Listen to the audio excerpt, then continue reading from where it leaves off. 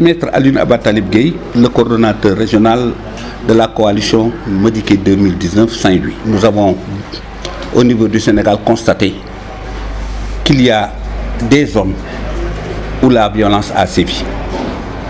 Nous nous inclinons devant la mémoire des disparus et appelons les uns et les autres à la paix. Cette paix que notre candidat appelle et pratique toujours, le président Macky Kenyan comme homme de pays. L'essentiel, plus particulièrement pour l'opposition, c'est de ne pas répondre à la provocation,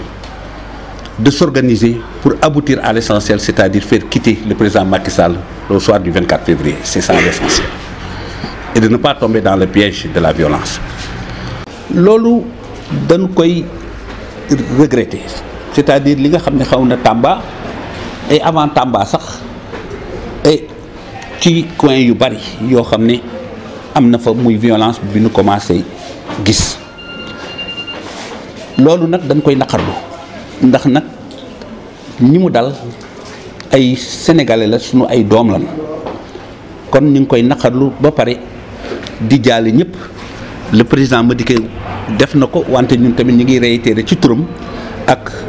département Saint-Louis yëpp bi nga xam ne yàlla def na maa koy jiite euh, ñu ngi jaale ñëpp di leen ñaanal yàlla na leen yàlla xaral àjjana wante nag bu doon suñu sagoo dafa yem waaw dafa yem pour cela nag man damay wax ñi nga xam ne ñun ñoo bokk jëmu muy kujje politique bi ñoom laay waxal euh, bu nu cédé provocation l'essentiel suñu jëf li ñu war xalaat mooy nekk benn ku si ne topp sa sa sa candidat l'essentiel moo di bu nu demee ba le 24 février dañu ñaan nag suñu candidat moom génne sax dégg nga Macky Sall premier tour